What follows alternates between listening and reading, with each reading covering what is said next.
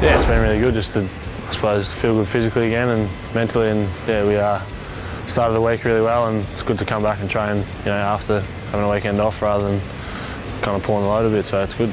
Yeah, I went up to um, up Sydney for a couple of days and just went up there with my girlfriend. That's about it really. So didn't do too much, but um, yeah, just still got to train um, on the Sunday and then yeah, just had a good good time off. So, so yeah, I think Tuesday, first thing Tuesday morning we were straight into it. So um, we're all here earlier than usual and yeah, ready to go. So exciting stuff. Yeah, I think the key for us is I think just making an accountable game. I think we've shown throughout the year that our, when we play our best footy is making sure their disposal count is nice and low and making sure it's a one-on-one game and just basically making a contest the whole the whole day to give us our best chance to, to get the four points. Yeah, I think it's just a, just makes the whole team better and um, as a as a core group as a midfield we're able to um, just grow our depth and I suppose it's it's more it's, um, just more a thing of reliability. So um, we're all, all comfortable now and there's no question of whether blokes come in or out or go forward. There's always that that sense of comfort that you know that you know we'll get the best out of what we